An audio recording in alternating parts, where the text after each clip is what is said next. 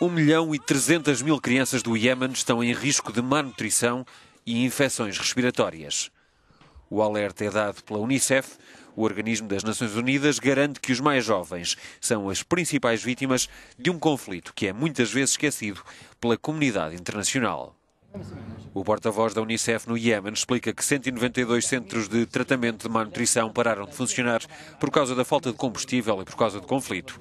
Além disso, os centros e os hospitais foram atingidos por raids aéreos e foram alvos de ataques de milícias armadas.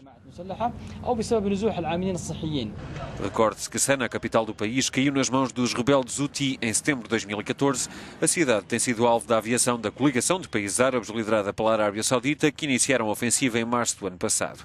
O conflito já provocou 6 mil mortos.